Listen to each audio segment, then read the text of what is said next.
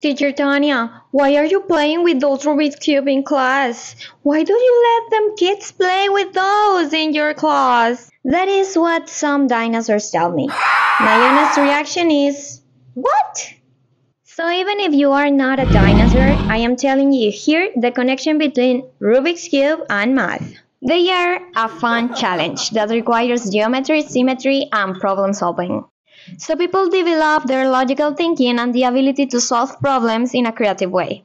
So that they don't think that yelling is a way to solve them. Yes, I'm talking to you, dinosaur. Also, we practice skills like patience, perseverance, and self confidence because you first need to understand the structure and how they relate to each other, then you can apply the algorithms and techniques to solve it. In conclusion, if you want to be a better student, a great person, and of course, very different to those dinosaurs, practice your skills with a Rubik's Cube. Mm. Please, teacher, avoid being a dinosaur and let them kids play with their Rubik's Cube.